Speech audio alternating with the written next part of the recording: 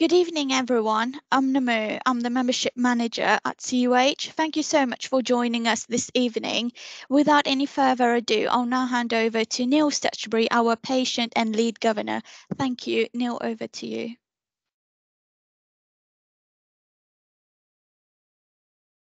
Sorry, Neil, you're on mute.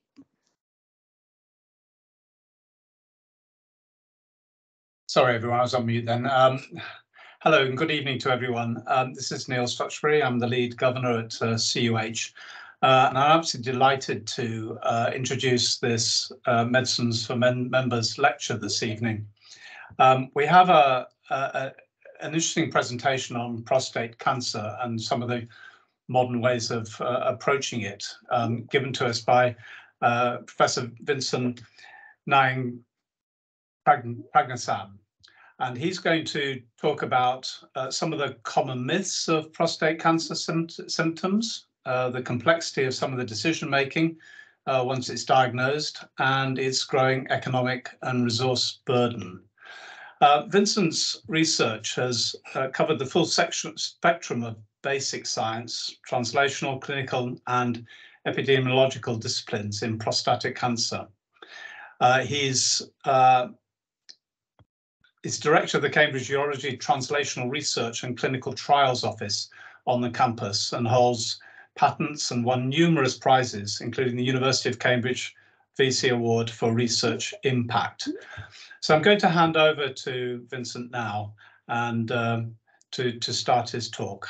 Um, afterwards, we'll have some time for questions, um, uh, which you can place in the chat as we go along, and we'll pick those up at the end. Okay, over to you, Vincent. Thank you very much, Neil, uh, and thank you, Namu. Um, I'll just uh, screen share.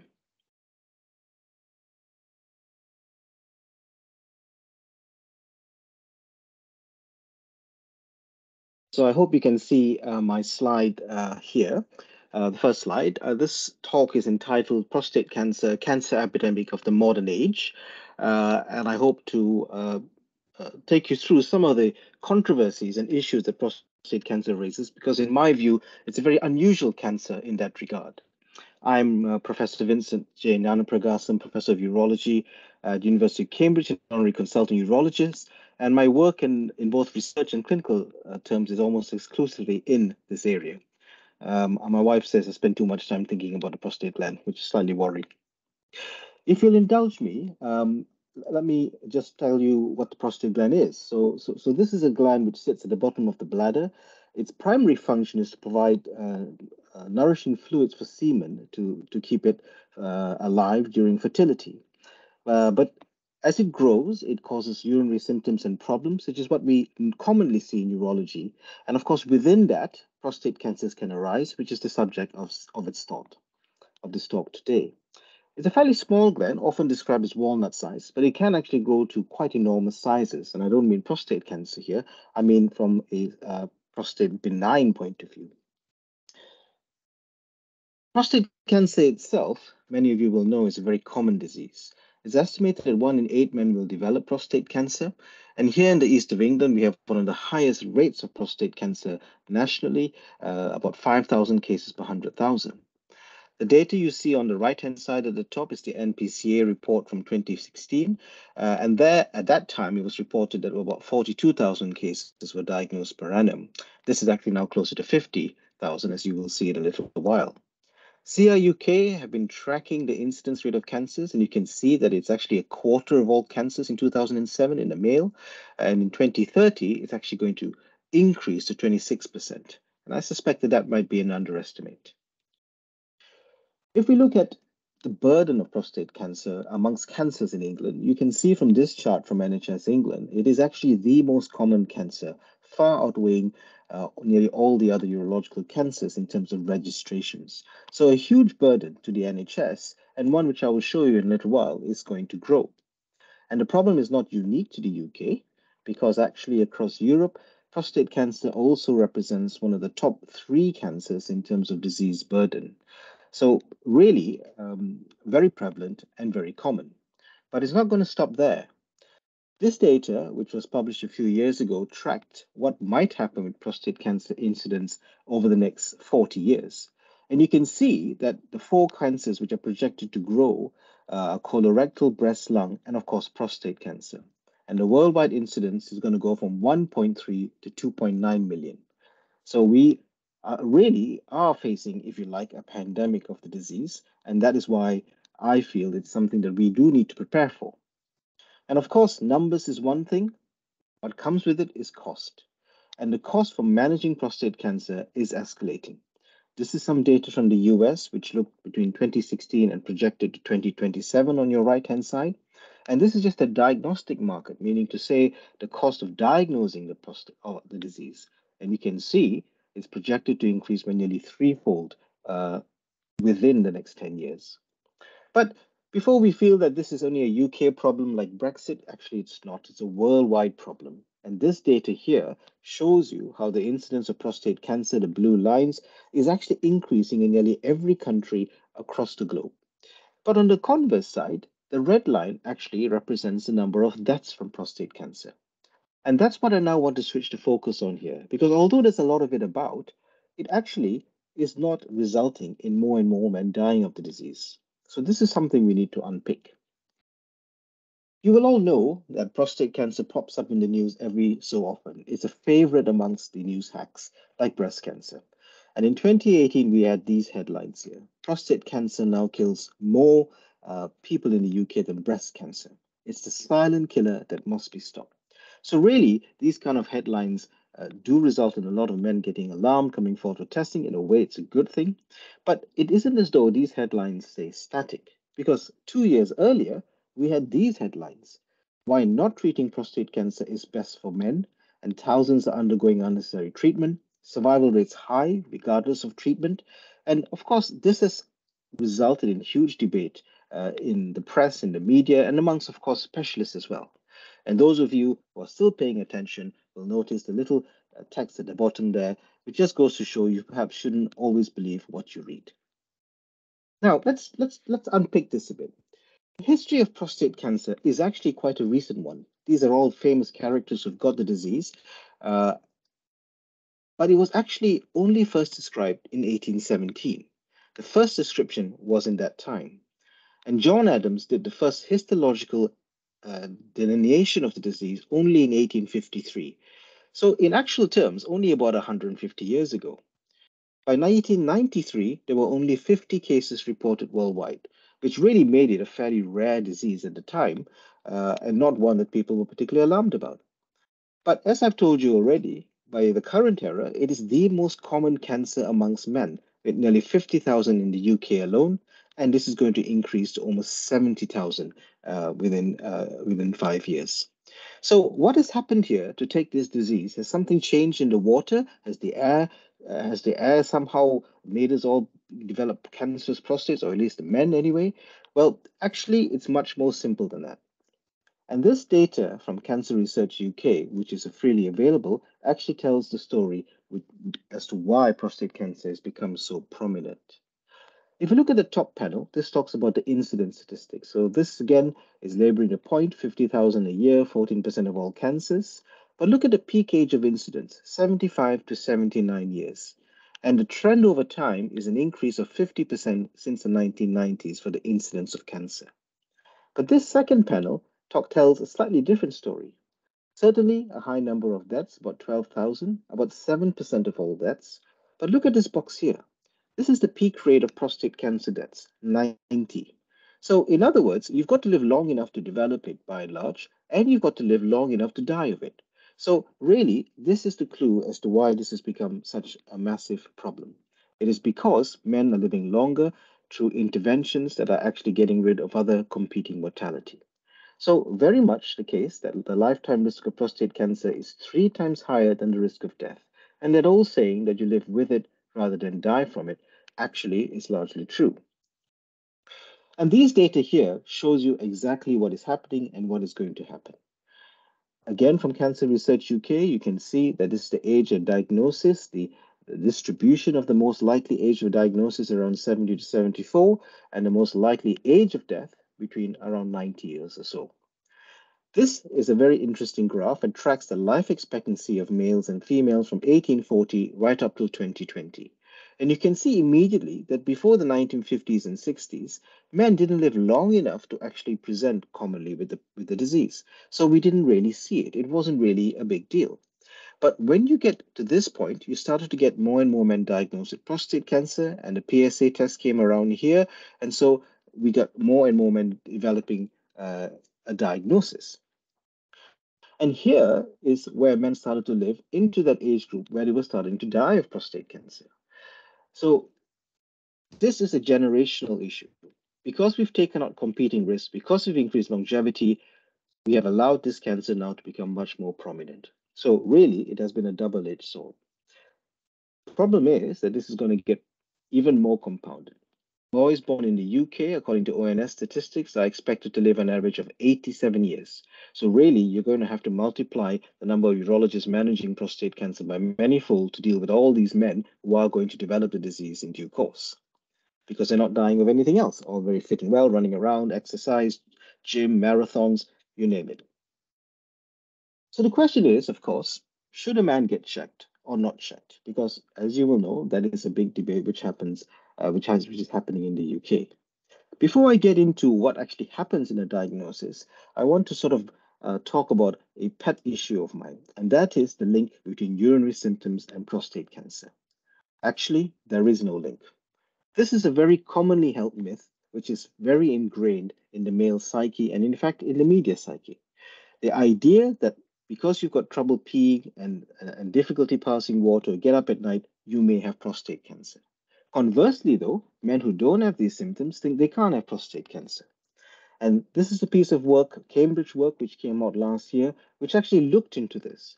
And it turns out there's an inverse relationship between prostate size and urinary symptoms and the likelihood of prostate cancer.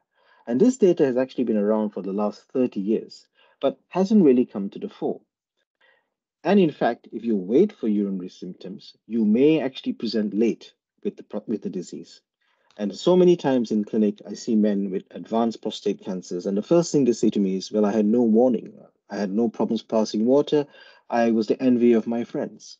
So that myth, I think, is really important to debunk. This paper over 20 years ago actually explored this in a population and they asked what people thought in the general public was their view was symptoms of prostate cancer.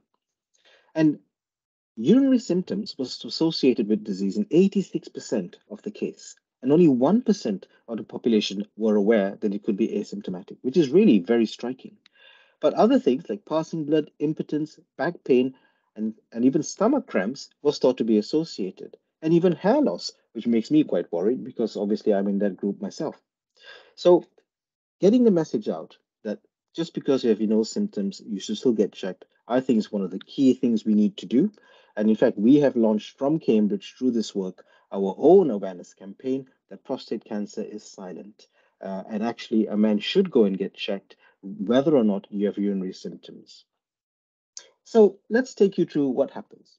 So the first step in the diagnosis is the PSA blood test, which I'm sure many of you heard is called prostate-specific antigen. It's produced by the prostate and is raised in many cases of prostate cancer, but not always. You might get a prostate examination by your GP, and if you're lucky, it's somebody with slim fingers. If it's not, then well, too bad. You then get referred up to the hospital, and more likely than not these days, you will get an MRI scan to see if there's anything in there which looks suspicious and after that, a prostate biopsy. Now, I wouldn't be uh, I, I, wouldn't be trumpeting Cambridge achievements if I didn't also put a plug in for a device we ourselves have invented in Cambridge to try and make biopsies safer called the CamProbe, which some of you may have heard. But the first step is whether to get checked. And in this regard, we know that men are shy, retiring types. They don't like to trouble anybody or make a fuss. So we need to encourage them to go forward and get checked. And Prostate Cancer UK have helpfully developed a website which you can access called Check Your Risk. And actually, it goes through what the tests are, what might happen, what it means. And I would encourage men uh, of a certain age to actually go and have a look at this. But like I said before, PSA testing and finding prostate cancer is very controversial. And you will see in the headlines many things about uh, you don't want that. You don't want to get that PSA test. Others saying you should get the PSA test. Uh, and uh, this particular GP um, who, who, who writes for the Times saying that he's never had the test and he never had one done. But Prostate Cancer UK is encouraging us to. And the real conundrum is that, like I said to you, it's very common, but the small number of men who might die of prostate cancer is quite hard to detect amongst the large number of men who may be detected with clinically insignificant cancers or cancers that are unlikely to affect them. So this is a conundrum currently as to whether or not we should introduce routine PSA testing. And of course, that brings me to the issue of screening. The UK has actually led in a number of key trials trying to unpick this. And this is one big trial called the CAP trial, where they looked at a single PSA test and compared the outcome of survival or not against men who did and did not have the test. And at 14 years, there really was no difference in the risk of dying of the disease uh, or, uh, or indeed overall mortality, actually. And so at the moment, the UK National Screening Committee does not recommend routine PSA testing as a screening uh, test for prostate cancer. But this PSA test has been both a boon and a curse. This data here on the left is actually quite an old paper from Australia. And it shows you what happens when you have PSA testing because it increases the incidence of cancer, but has a very marginal effect on mortality. So we thought we were doing very well by, by, by doing testing and finding all these cancers, but we haven't really changed mortality. And the reason for that is that PSA tests is not perfect. It's a very good marker and one of the best uh, blood-based biomarkers out there, but it can suggest cancer where there is none. It can miss cancers, and it can also find cancers. So at the moment, PSA test uh, is the first gold standard test, but it's not perfect. The other conundrum is what level should be used to refer men in? And this is actually quite a big problem because the range of which a PSA should be normal can be affected by age and the size of a prostate. So the idea of the PSA age references came about some years ago and is actually in use in every hospital, uh, in every alliance across the country. The problem is that actually no one can quite agree what those ranges should be. This is another piece of Cambridge research from a couple of years ago, where we actually delved into this and found that there were 10 different PSA thresholds being used across the different cancer alliances in the UK. And depending on where you lived and what your own hospital ranges were, you could actually be referred or not referred if you didn't meet those thresholds. And there was about a 3 to 12% variation in the chance of missing a cancer. Let alone within the alliance, actually within the regions and within hospitals, there are actually different PSA ranges. NICE unfortunately has not been able to actually give us clarity on this. So it currently is the case that there is variation in even what PSA level should trigger a referral in. So moving on from the PSA, how do we improve that? Well, there's been a lot of work in this area, and I mentioned to you about MRI already. And the principal aim of MRI is to try to screen out men with high PSAs where actually there isn't anything that's worth investigating or biopsying. And it has some good effectiveness in that regard. But there are also many other additional serological tests which can actually achieve this, uh, called the 5, 4K, PCA3, lots of them out there, which have been shown to be better than PSA. The problem, though, is that how do you fit that into the pathway and also how do you afford that hasn't really been worked out or looked into. But currently, uh, MRI has been rolled out to every unit across the country at, at quite a lot of cost and ex expense, and this is a useful test. Of course, people are now asking, well, if we've got this great MRI, how about doing screening with that?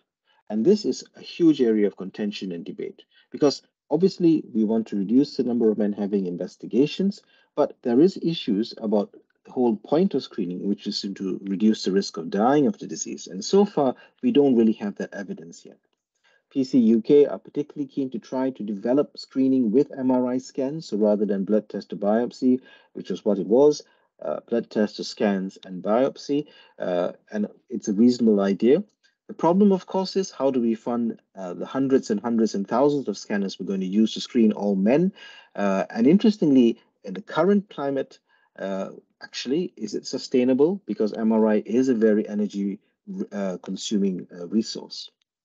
In Cambridge, again, we've been exploring some work in this area, and we have uh, published evidence that introducing a serological marker can both reduce the use of MRI, biopsies, and also cost less. But how to get this into practice and implementation to refine pathways and to actually make this a reality is something which, interestingly enough, there are not many people who like to fund this because it's not exciting. Uh, and actually, pathways and implementation is a very different world from primary research discovery. So once you get past that gauntlet of PSA and MRI, you go forward for a prostate biopsy. In the past, the biopsies were done in, in what's known as a random or systematic way from different areas of the prostate. But now, because of the MRI and availability, we can do targeted sampling, so taking it from specific areas as well as the rest of biopsy. And Cambridge has led on setting up some very innovative fusion technology, uh, which we have pioneered and we teach others to do as well. Those biopsy samples then go on to a pathologist and they look at it under the microscope and they work out whether there is cancer, number one, and number two, how aggressive is it? They use something called the grade group system, which goes from a one to a five, um, uh, uh, which is which is a, uh, which is quite confusing because it used to be called the Gleason score system, which went from a six to a ten. Suffice to say, if you have a grade group one, that's the least aggressive type, and a grade group five is the most aggressive. So we take that PSA at diagnosis, we take the biopsy information, and the next thing we do is we look at the stage, which is to say to what extent has the cancer within the prostate or actually gone through the prostate. And that T staging is often done using MRI these days and previously by clinical examination. If a man then is diagnosed with prostate cancer, when I started uh, in this field, you basically told him the diagnosis and then you offered him a menu of different treatments he could choose from. And it was very much the case that we would say, well, you could have surveillance or monitoring, you could have surgery, you could have radiotherapy or radioactive seeds, or maybe some new treatments. Uh, tell us what you'd like to do, and we'll refer you on. Certainly for some men, that was the case. Other men had fewer choices. But it wasn't a very informed way of doing it. And the way we were doing it was clearly not correct because of data which came about about, about the actual benefits of treatment. This is the PROTECT study, one of the largest, in fact, the largest and only randomized study of uh, surveillance versus treatment in prostate cancer. Cambridge was a participant of this study. Now, if you know these graphs and you look on the left, you will see that the top left one talks about the risk of dying of prostate cancer, and the three options are to have surgery, radiotherapy, or monitoring. And immediately, you don't have to be a statistician to see there was actually no difference in the survival of patients up to 17 years after follow-up, regardless of which arm they went into. And if you look at metastases, which is cancer which has spread, there was a slight, uh, there was a higher level in those men who had surveillance, but really over 90%, regardless of which treatment group you were, was still metastasis free at 10 at 17 years.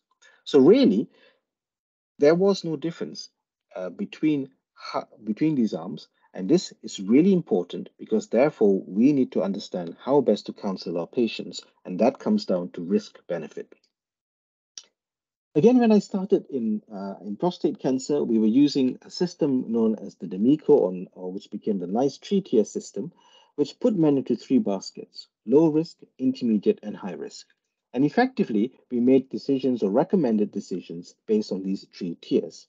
But these three tiers were actually developed not to work out the risk of dying of prostate cancer, but actually the risk of disease relapse or progression.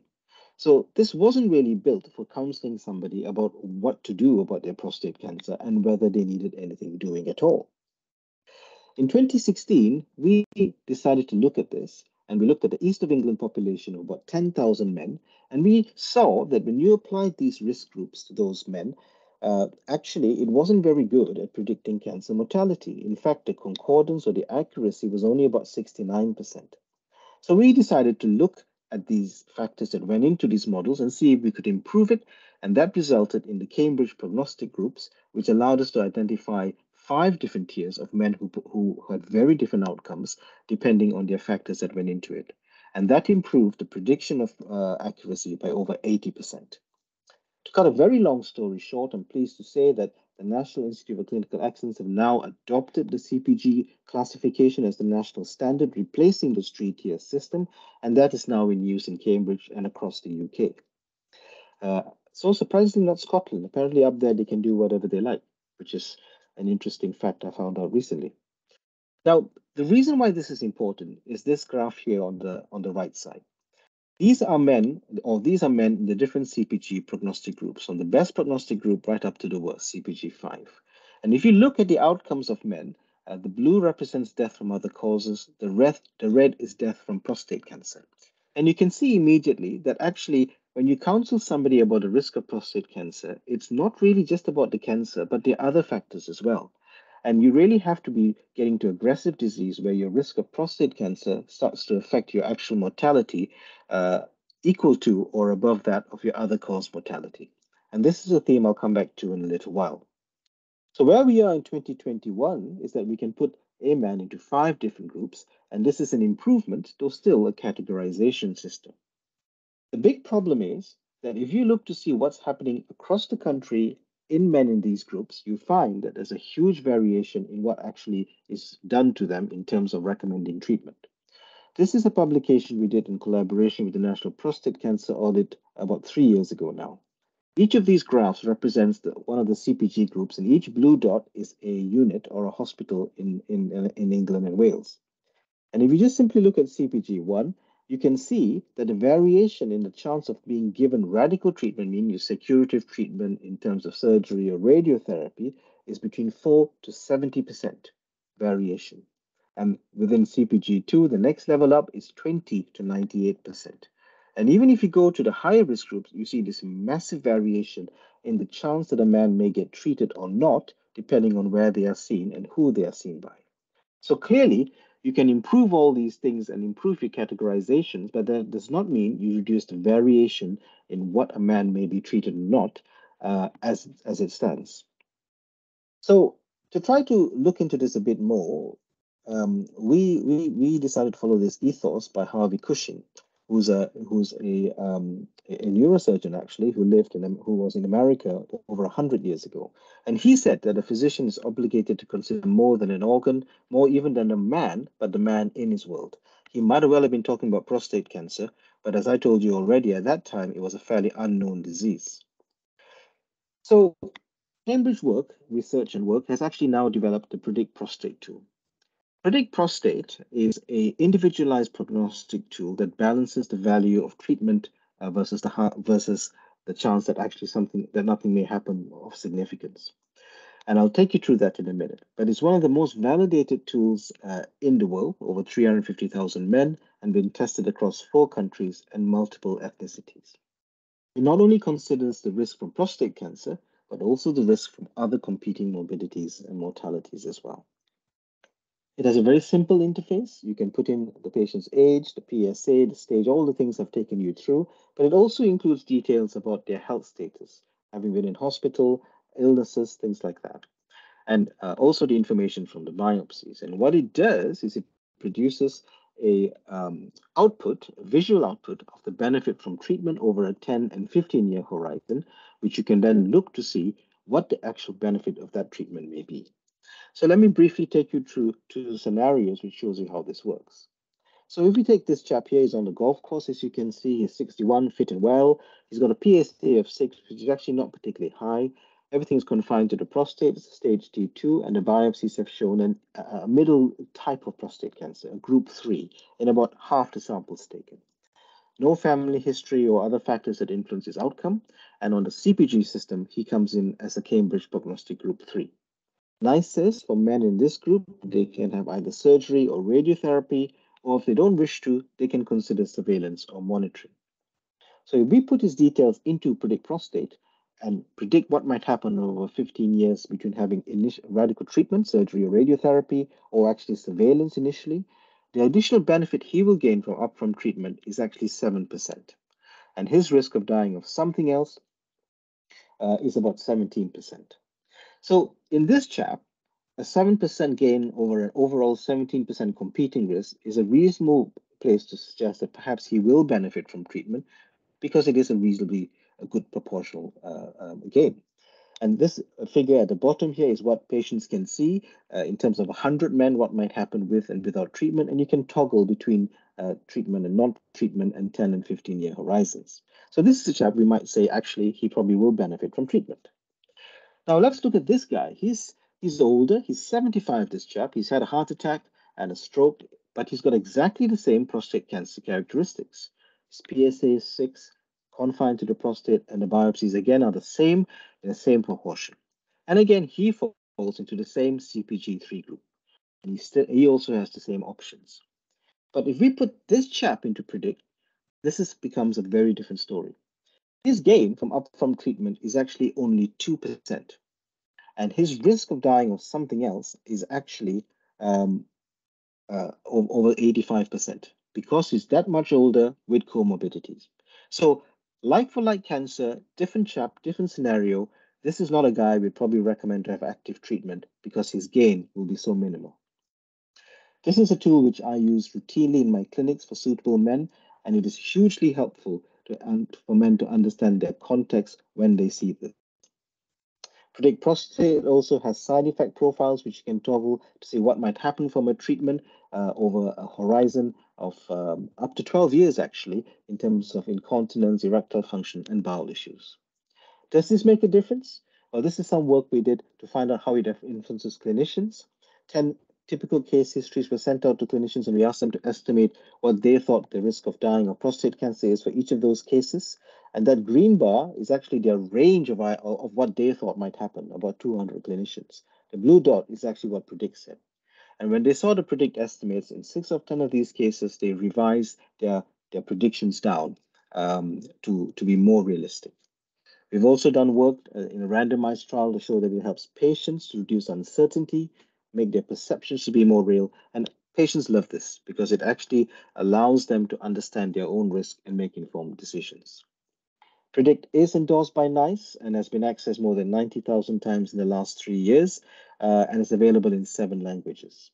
So the way we like to think about it is that we are actually able to put a man into his own basket now rather than into one of those three or five baskets. Implementing these tools in Cambridge has allowed us to uh, have effectively reduced our overtreatment rate. And CPG1, for example, the, the, the, lowest risk, if you like, we've reduced radical treatment rates by 18% uh, and about 50% of the men in CPG2. So this is really making a big impact in savings in overtreatment and the cost of treatments and of course managing side effects. Um, we are performing better than the national average. Uh, and this is data which we've presented as well. So really, prostate cancer, uh, when I started, used to be called the tigers and the pussycats. But actually, it's more like many, many breeds of dogs. They all have different characteristics and personalities, and you really have to understand it well to be able to manage patients. Of course, there can be somewhat that, tumors that seem very indolent but will behave aggressively, and some really nasty looking things which don't do very much. So prostate cancer, I would say, as I said throughout this whole talk, is all about benefits and risks. And understanding that is going to be key to managing the disease for now and also in the future. We've been able to engage the East of England in actually helping us to disseminate some of this. And they've just released this website earlier this year, which actually takes you to the tools we've developed here to disseminate practice across the, the alliance. And we're very, we're very grateful to them to do this. And hopefully this will be taken up nationally as well. But here I want to, my, my, my second to last slide shows you another problem. A piece of work done by Diane Wheatley, who's one of our, our, our radiographers, looked to understand what information patients are being given after a diagnosis. And in short, depending on where you're seen, you might get given the different elements of your diagnosis like information, and you might or might not be offered uh, a chance to see some of these prognostic tools we're talking about. So really, we have an information provision inequality happening across the region, and I suspect nationally as well. And this is something we need to look into if we're really going to change things. So in summary, um, I hope I've been able to uh, tell you why I think prostate cancer is a modern pandemic in the making. It is a disease of the aging man, man who's living longer and dying of and not dying of other things. Sorry, and the disease burden is complex not because of its lethality, but because of its diverse disease pathways, and where balancing risk and benefit is actually quite crucial. The majority of new diagnoses will not lead to shortened survival or death. So men should not be afraid to come forward to get tested because it does not mean automatically they need to get treated. We've got many better detection tests, but no clear pathway to implementation.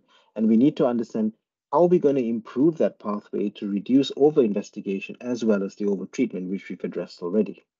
Will screening be the answer? In my view, I'm not sure we need it because what we really need is awareness raising on its asymptomatic nature, and we already have access to PSA tests.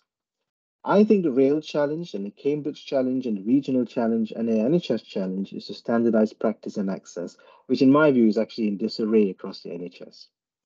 Once you are detected with prostate cancer, we have a number of tools we've been fortunate enough to develop, which actually will help men to understand their risks. And I hope that it will be adopted uh, more than it is now. So variations in care and information provision are what is leading to late presentations, inequality, and different outcomes. And that's really what we need to address. And I'll leave you uh, with this, which is actually what I think about prostate cancer a lot. It is a cancer, but not as we know it. I'd like to thank you for that, your attention and happy to take questions. Yeah, thanks very much indeed, Vincent. That was a fascinating uh, insight into prostate cancer. Uh, so thanks very much for that. Um, we can now take questions um, from all of you. Um, if you have a question, please put it in chat. Um, Namu, I just need to ask you a question. When I look at chat, I can't see any entries entries in the chat thing. If you can see it, perhaps you could read out. Um, yeah, no, there's no question questions. Okay, right. Yeah. So um, let, let me ask you a question, um, Vincent, then while people are thinking, and and and, and I'll also um, after that just give everyone a quick uh, summary of progression on our new cancer hospital, which is uh, information of which has been in the news recently. So, um, Mike, I've got a couple of questions really. Um, you mentioned that um, prostate cancer, like many other cancers, was on the rise, and and sort of explained the reasons why prostate cancer was rising uh, over the you know next few years. Is that are those reasons the same for uh, breast cancer and colorectal cancer and other ones as well? Uh, my second question, while yeah. you're thinking about that, is yeah. you mentioned that your trials covered a number of different ethnic ethnicities uh, in it, and I wondered whether there was any variation in incidence or outcomes uh, in relation to people's ethnicity in prostate cancer. Um, thanks, Neil. Um, so, what was your first question again? First one well, related to uh, the reasons why so many cancers oh, okay. are yeah. on the rise. Yeah. you explained that for prostate, but you also showed a graph of all the other ones rising too. So, so Neil, this is a really interesting point. And actually, if you think about it from a philosophical standpoint, the human body was not designed to live for so long. And it is, it is not a coincidence that most cancers arise in the older person, isn't it? Um, there are no doubt some genetic factors and other things which come into it, environmental factors. But um, but I think you know it's true. You know we've managed to stop deaths from high from high blood pressure, from from strokes, from cardiovascular. We've got all these drugs, people on statins. All of that's not doing it. But the body is continuing to age and mutate, and and in a very simplistic way, I think that's why we're picking things up. It also makes managing cancer quite complex because actually you can actually throw the throw the book at a cancer and cause lots of morbidity, but not actually gain overall survival. In terms of your second point, I think what you're asking is the tools we've developed, how reliable are they in other ethnicities? And actually, what's really fascinating is that um, if you take the race out and you actually do a like for like comparison of cancers, particularly prostate cancer, outcomes are actually the same. But there's no doubt that certain races have a higher incidence of developing cancer. But once you develop it, like for like cancers behave the same way. Mm. Okay, thanks. Um, there are a number of questions coming in um, right now, but I thought I'd just uh, just spend a couple of minutes just giving you just a quick update on um, our new uh, Cambridge Cancer Research Hospital, uh, which is being designed and, and thought about right now. So um, th this uh, is a unique proposition um, in the UK, and I, the idea behind the new cancer hospital is to integrate um, both the clinic and science together into one uh, building so that research and treatment are working hand in hand for the benefit of patients. And this should help us um, provide much more personalized uh, solutions to cancer and improve outcomes tremendously. Um, it's an interesting fact that one in two people are likely to um, be affected by cancer at some point in their lifetime and therefore probably everyone in this audience has either been affected or um, knows someone who is affected by cancer. And so this is why uh, a new um, hospital like this is so important. Um, in terms of where we're at with it, the uh, business cases are going through the system at the moment. The latest one called the outline business case, we're expecting um, approval imminently from the government and work is on the final full business case. Uh, when that's completed, we should be able to start uh, the building work itself in 2024 and hope to complete the uh, building by 2027. Um, the funding for this is coming from the government. It is part of the new hospital programme, which you may have uh, seen on the news today. It's one of those 40 hospitals. So it is uh, does have some funding, though not all from the government. Uh, some of the funding will become will be coming from fundraising activities from the university and from Addenbrooke's Charitable Trust. And if you'd like to find out more about the Addenbrooke's Charitable Trust work on, on fundraising, particularly fundraising from the public, they have some hubs in the oncology um, waiting area in outpatients where you can go and uh, have a look and find out more. So that's just a quick summary um, of, of the hospital as it is at the moment. So I'm now going to uh, check out some of the questions that have come through. So uh, starting at the beginning, Vincent, there's a question here saying, is there an age at which men should seek screening? Um, asking for a friend? Not quite sure. Uh, is there an age Yeah, at which ask- people should seek screening? Yeah, asking for a friend, eh? Oh, Uh, the question I is would say- being asked on behalf of a friend. Yeah. Yeah, no, that's what I meant. um, so, so there is no screening as such, but if you're over 50, um, then I think you should go and get a PSA done and see what it shows.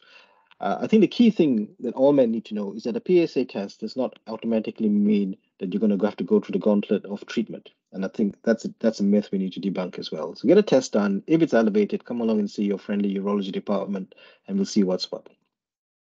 Okay.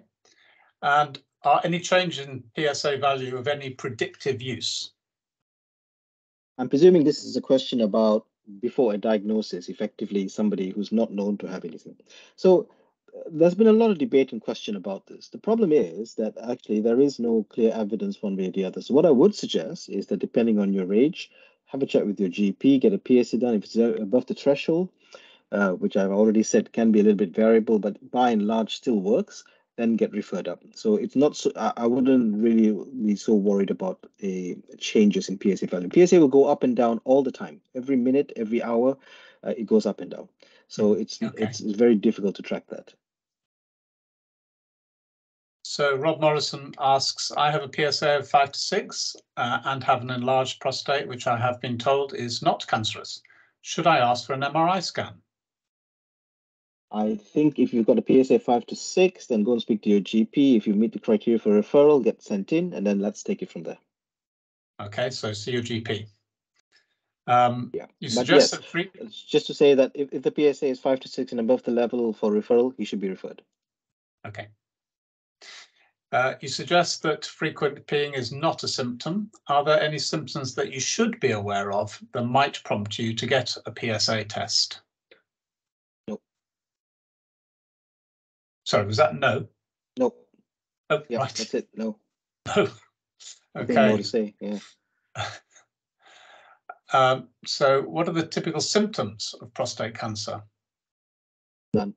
So what might prompt you to see a GP? There isn't there isn't any unless you've got Mm. very advanced metastatic prostate cancer and I've got you know uh, bone pain, consistent persistent bone pain, but there are no signs which you can say are due to prostate cancer.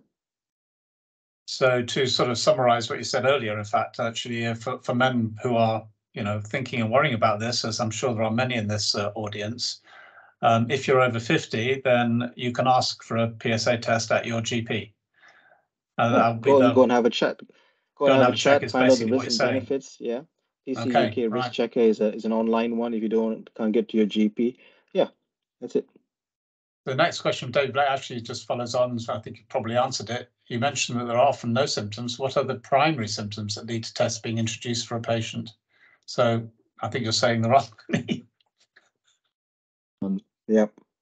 Uh, Sharon Peacock, uh, one of our non-exec directors, says, many thanks for this great talk, Vincent.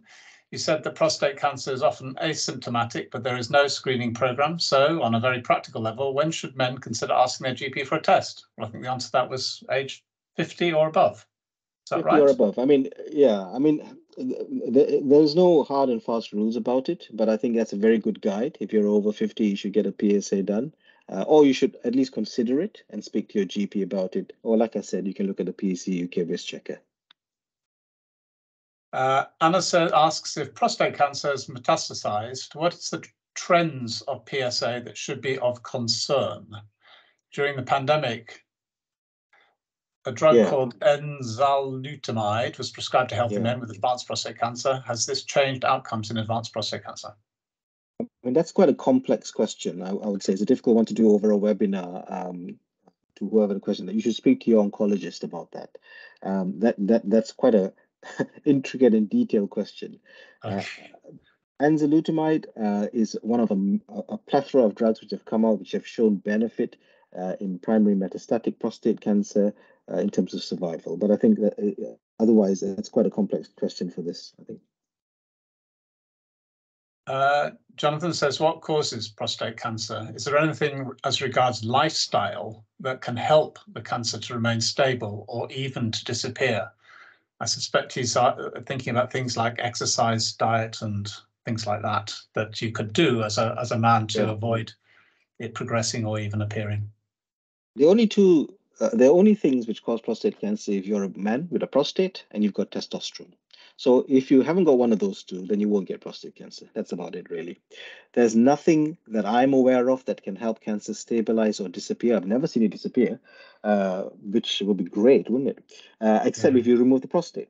So effectively, uh, the simple answer is if you have a prostate and you've got testosterone, i.e., you're not a eunuch, then you're at risk of prostate cancer. But when and how that might happen is very difficult to say. Certainly, certain ethnicities have a higher incidence, and if you carry the BRCA mutation in your family line, you have a higher incidence as well. Uh, so those are the, some of the factors to consider. So would you advise having a genetic test then? No. Um, no? no? Okay. No.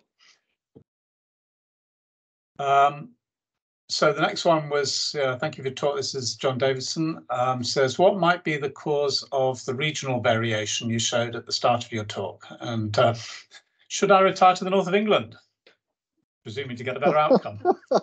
That's a nice part of the world. Um, so there may be good I reasons for trying the north of England, but I doubt this is one. yeah.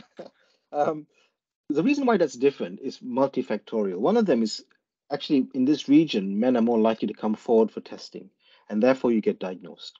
There isn't a uh, something in the water. It's not about a soft water, hard water business or or environment, or anything like that. So it's actually more about getting men to test. And actually, this region has one of the highest awareness rates, shall we say? And I think that's the reason you see the variation in the pickup. Oh, okay. So uh, Ian Morris asks, apart from PSA testing, post -radio radiotherapy and hormone treatment, are there other markers, e.g. MRI or PET scans to monitor success or otherwise of the treatment? So the PSA actually is a very good marker to monitor post-treatment response and relapse, and that is the one I would recommend. That then leads to other tests if necessary. Okay. Um, Tom Shackleton asks if um, an informed patient has a PSA test of more than 50 YO and is normal, would you recommend any repeat PSA and at what interval? Currently PSA required for investigation of LUTS. Sorry, I don't know what that is. Little evidence for this. Thanks. This is from a slim-fingered GP. Everybody, you need to find out who this is and go and see this guy uh, if you want to get tested. He's got slim fingers. So that's a really interesting point. There is no hard evidence on what PSA testing interval should be. But I would say that by and large, if you have a normal PSA at age 50, your lifetime risk of developing lethal prostate cancer is actually quite low. And there is some evidence that says that if you were to say test all men at 40 and it's below one or something like that, then your risk of prostate cancer that's so low you don't need to test again. So there, it's very hard to give a guide about this. And I would say that really, you know, um, you can pluck a number. Uh, I certainly wouldn't say any less than three to four years, perhaps five years, or come back again when you're 60, something like that. It depends, I guess, to some regard, whether your PSA is near the margin of the threshold or actually very far away from the threshold, shall we say. Uh, LUTS is lower urinary tract symptoms. Uh, and, and you're right, and this is actually a, a real dissonance here because NICE guidance and in, in GPs puts PSA and prostate cancer together with LUTS, so it gets very complicated. One thing that PSA helps in terms of LUTS is that largely it is a bit of a surrogate of prostate size. So in that regard, it can help. But very often, like I said earlier on, there's an inverse relationship between prostate size and symptoms and actually finding lethal prostate cancers. Uh, okay, thanks. So the next one is uh, just a quick question. What is the referral measure? I'm not quite sure what that means. Yeah. What does that mean, referral measure? I, that's the only question. I can't help with that. So let's skip over that. Yeah. And uh, Julia Loudon, who's another governor, former league governor, has asked, given your answer to question one, uh, if you can remember that, should men over 50 sent, be sent letters saying it would be sensible to take a PSA test? Overtreatment based on screening is a risk for breast cancer, yet screening is a clear starting point for women to be aware of breast changes, etc. So if you start uh, sending letters to men, then that is screening effectively. You're basically looking for cases. And there is a very fine distinction between that and a man coming forward and having an informed decision about the PSA test. So, uh, you know, screening is a funny thing, or PSA testing as a screening test is a funny thing. It's not a, it's it's it's not great for the economy, for the country, epidemiologically, because you find a lot of cancers that you never need to treat. But for the individual, it's obviously can be life changing if you find it. So there's not a straight answer to that. But once you start sending letters inviting people to have something done, that is effectively de facto screening. Now, overtreatment is a really interesting point. Um, most of my talk, as you will see, is talking about risk benefit. And we have been able to eliminate overtreatment uh, or at least provide men with evidence to avoid overtreatment, uh, so much so that our current UK rate of treating very uh, CPG1, the best prognostic group, is about 4 to 5%. In America, that rate is 60 to 70%. So, so we're pretty good in this country at not overtreating. Uh, we've, in a way, compared to breast, done it the other way around. We've worked out all the things that we shouldn't do, and now we're asking the screening question. And I think breast is going the other way, if you like. Mm. So, so there's a follow-up. The next question is a sort of very close follow-up to that, which is basically saying it doesn't seem right that there's a lack of proactiveness towards prostate cancer compared to other cancers. Uh, for example, why is bowel cancer for men considered more important than prostate cancer, for which there is a regular five-yearly screening program for men over um, 55, I think? I think that's because of lethality. And this is the crux of it. If you're diagnosed with bowel cancer, and I'm not an expert in this, your chance of dying of the disease is actually much higher uh, in late stages than actually prostate cancer. And I think I've oh, shown right. you already with prostate, you can be diagnosed and actually never die of it. So that balance is what the government, right. NHS, epidemiologists actually have to balance, have to, to see. If you have limited resources, are you going to put it into this very large demographic cancer with low lethality or into a another cancer with high lethality? And I think this is something which you know an organization at NHS has to consider. Okay, Vincent, I, I'm looking at the uh, the clock now, and I think we're going to have to uh, finish shortly. Actually, only a couple more questions. Maybe we'll have time for those. Um, so let me try this one then. Uh, there's a significant rise in testosterone supplementation in men through the, through private online services. Annual PSA monitoring usually done. Is there any significant increase in risk for those no. who have testosterone supplement?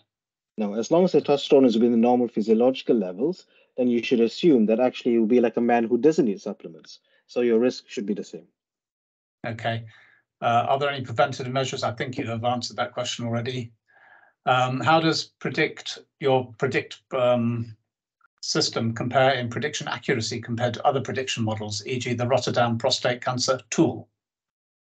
Uh, so predict is a post-diagnosis prognostic tool. The Rotterdam tool is to detect cancer or your chance of having cancer. So they're very different tools completely. Okay, so tackling different things.